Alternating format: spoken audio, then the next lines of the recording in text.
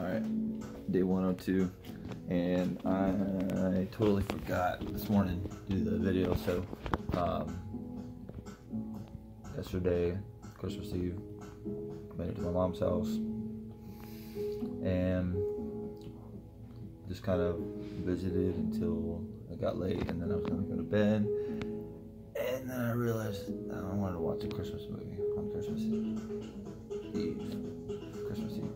And so I ended up finding National Lampoon's Christmas Vacation on VHS. Watch that. Um, that was classic. It was on VHS. I had to rewind it because it was halfway through. And um, I was like, oh, I have to press rewind and sit and wait for it to rewind. So anyway, um, yeah, and then finally made it to bed. And um,